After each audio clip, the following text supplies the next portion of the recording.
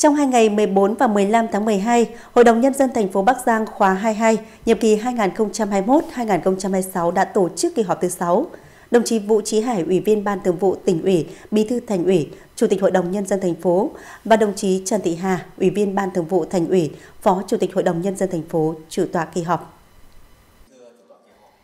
Tại kỳ họp, các đại biểu đã nghiên cứu thảo luận các báo cáo thông báo về tình hình thực hiện nhiệm vụ kinh tế xã hội và sự chỉ đạo điều hành của Ủy ban nhân dân thành phố năm 2022, nhiệm vụ trọng tâm, chỉ tiêu biện pháp chủ yếu năm 2023 và nhiều nội dung quan trọng khác.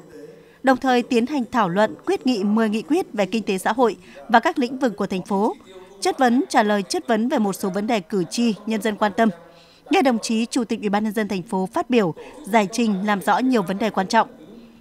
để các nghị quyết thông qua tại kỳ họp sớm đi vào cuộc sống. Phát biểu bế mạc kỳ họp, đồng chí Vũ Trí Hải đề nghị các ngành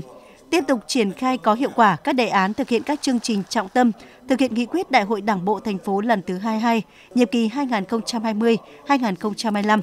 Nghị quyết số 156 của Ban Thường vụ tỉnh ủy thực hiện quyết liệt các giải pháp cải thiện môi trường đầu tư kinh doanh, nâng cao chỉ số PCI và DDCI của thành phố, đẩy mạnh các biện pháp tăng thu ngân sách, đẩy nhanh tiến độ thực hiện dự án và giải ngân kế hoạch vốn đầu tư công, chỉ đạo giải quyết các khó khăn vướng mắc về bồi thường giải phóng mặt bằng, tăng cường quản lý trật tự đô thị, thực hiện các biện pháp kiềm chế tai nạn giao thông, tiếp tục tạo chuyển biến rõ nét các mặt công tác văn hóa xã hội của thành phố, bảo đảm phát triển đồng bộ với tốc độ phát triển đô thị, tập trung cao triển khai các bước công việc, lộ trình xây dựng đề án nhập địa giới hành chính huyện Yên Dũng với thành phố Bắc Giang.